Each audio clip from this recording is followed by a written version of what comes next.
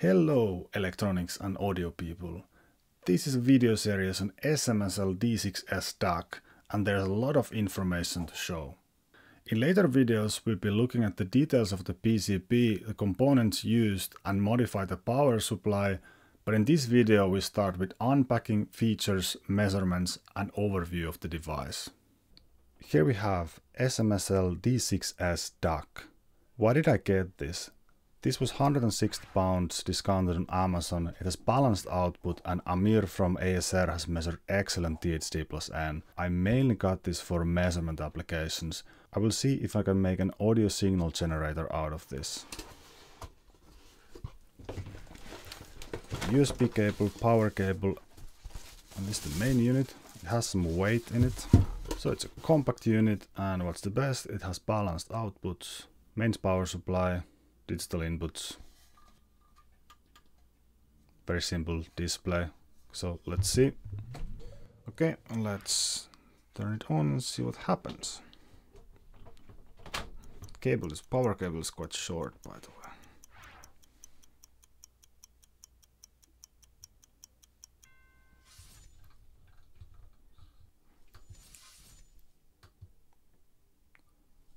It's not very obvious what are these other options here except the input.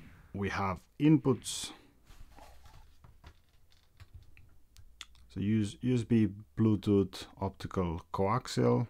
So we have the filters of the DAC chip available here for selection and here are the explanations for those and some plots. So you can try if you can hear the difference between different filters. Then there is a PLL setting so that can potentially impact the jitter or it can also make it kind of unstable, unlock the input.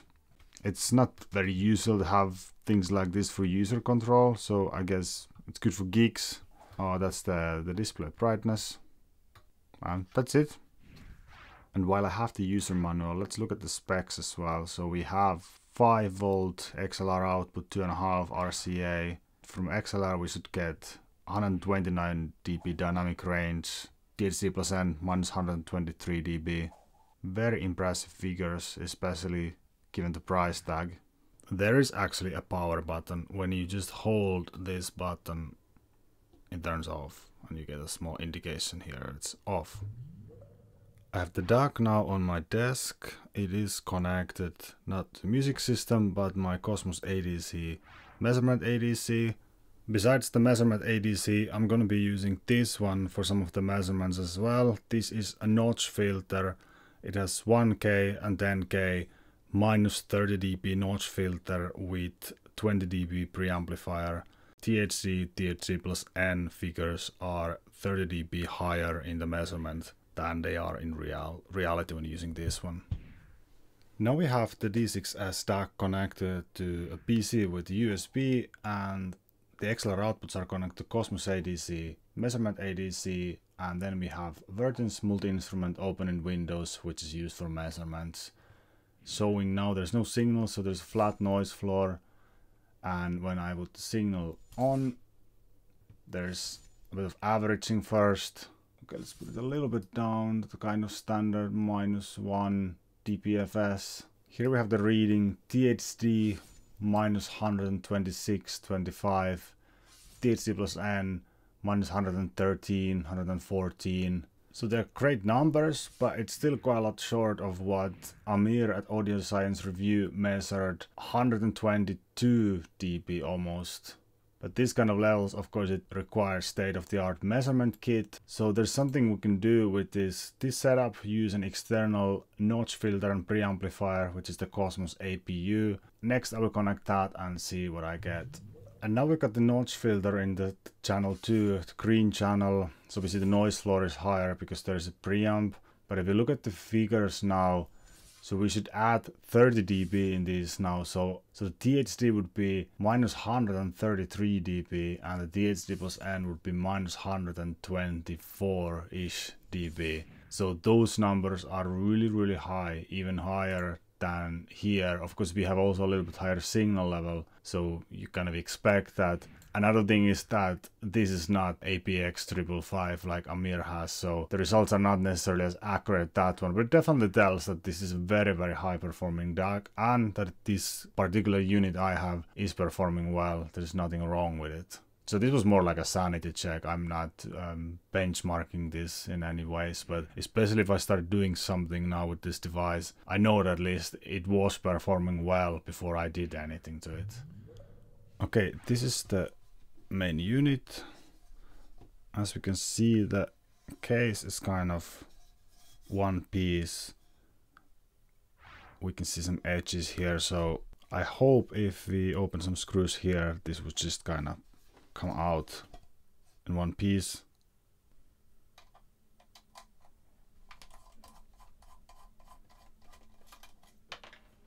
Nothing moving yet. I suspect these screws are just for the XLR, so I'll just try to open a little bit more.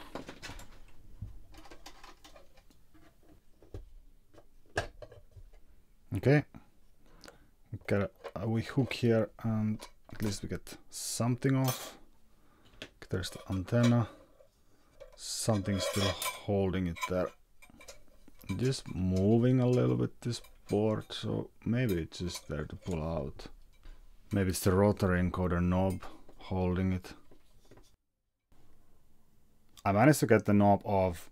First it felt really tight. I I couldn't get it off. I, I warmed a little bit with hot air and then yeah it, it got off quite easily. I scratched it a little bit, the chassis, but it won't matter for my application. So that's the one was holding the front panel. So now we probably get it off quite easily. Okay. These inexpensive Chinese devices just keep surprising me. Also, if you look at this PCB, it's, it's beautiful. It's aesthetically nicely made as well. So here we have the power supply. It's a mains power supply so these components here are high voltage. So we have this air gap here working as the isolation along with the transformer here. So we have some protection filtering here. This one is a common mode choke here, it's not a transformer. Then there's a rectifier. We rectify the mains voltage. So we have 400 volt cap here, it's a high voltage. And then there's a DC-DC that goes through this transformer, which is there for isolation and then the main rectifiers here with these discrete diodes so that creates our actual supply voltages and all this part here is power supply a DC DC here under creating another supply. And here we have a few different LDOs there are some voltages marked on the PCB 3.3 1.8 0.9 volts. And there are some other switches or LDOs that control the supply lines. One thing is also that the device is always on, so the, the power is soft power, so the main power supply is always on, so they likely control some of the rails here. Here we have the inputs, so there is a, a USB Toslink and an SPDIF, and here is a Bluetooth module, so I removed this rear panel with the antenna connector here. Here we have the XMOS IC for the USB input. And there's some processing as well. Some of these take all the inputs in, do the input switching, which then goes to the ESS DAC, which is here, and this is the analog output stage of the DAC, and then we have the the XLRs and RCA output connectors here. Like overall, the PCB looks very tidy. It's it, it really looks like well-made product, especially for the price. Here we also have some further insulation for the mains high voltage power supply. And as you can see, there are some ground slits here, which usually is kind of controversial. You shouldn't need to do that. It can cause some issues also, but they probably know what they're doing because it performs so well. And there are things like you slit the ground here to avoid the audio currents going through the, the digital bits. So um, it, it's fine if you when you do it if you just take care that you don't have any signals crossing the slits. And then of course the user interface is very simple here. We just have this uh, simple display, IR for the remote, um, this uh, rotary encoder here. So this is pretty much it very briefly and as I mentioned we will go into more details in the next video. I'm gonna be doing first some power supply voltage measurements. So first we need to plug this in. This cable is not connected anywhere yet. Uh, because it's the mains powered device, so you need to be very careful. I'm gonna be using this small cardboard. Even if we know that the high voltage is there, when we just do things we forget. I'll be using this old DMM here. This is probably not the most accurate device, but it's enough for now. I just need to know approximately what's going on there. So here we have the rectifier diodes coming out of the transformer and I expect these large electrolytics here, they are mostly connected to supply. So I will start going through these electrolytics and see what kind of voltages I find. Minus 12 and a half and 12 and a half. So that's, I guess that's what's coming out of the, the transformer rectifier. Plus minus 12 and a half. 4.2 this one rail here is 4.2 there's something that looks like DC DC converter here with inductor so that's I suspect that's where the 4.2 comes from. And then there are these rails marked here on the PCB so there's the 3.3 1.8 0.9 another 3.3 these are all LDOs here. And then we have the ones here marked plus minus 11, 11.3, minus 11.4. So I think those are the main supplies. We have the 4.2 and plus minus 11. This one here, I suspect that's the reference for the DAC 3.7. And here we have, so we have first the 12 and a half here, and then we have the 11. So these ones here must be some sort of LDO from the plus minus 12 and a half to 11 point something.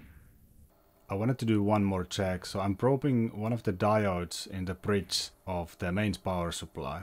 We can see some switching spikes here and the switching frequency is around 25 kilohertz. So that's the DC-DC of the mains power supply. Thanks for watching the first part. In the next video we'll be looking at the PCB in detail and the components used. Please like and subscribe if you enjoyed the content and see you in the next video. Bye now.